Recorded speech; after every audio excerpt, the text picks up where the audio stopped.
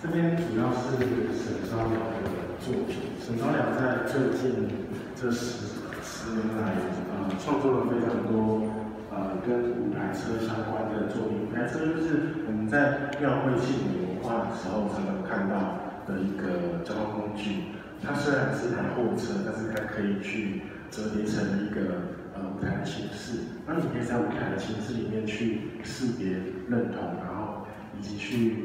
分析出各种东西方元素的一个语汇。那这次比较特别的是，还有展出的这个 Singer，Singer 系列就是我们常常在舞台车上面看到的舞者们。然后他特别用了黑白的呃摄影来摄影来处理，然后颜色其实是比较温润的。那搭配上紫色的呃墙面，我们可以去看出就是在属于舞台车那个年代里面，他们的一个穿着以及。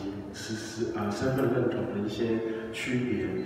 那比较特别的是，这一次的舞台车都是以直幅的呃直幅的构图来呈现的。那这个直幅构图可以让我们看到更多更多的舞台车的细节。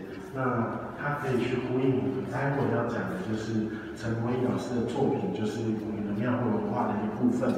那其实呃这。这一个这一个展间的沈昭良老师的作品，其实都是重新制作、全新的输出。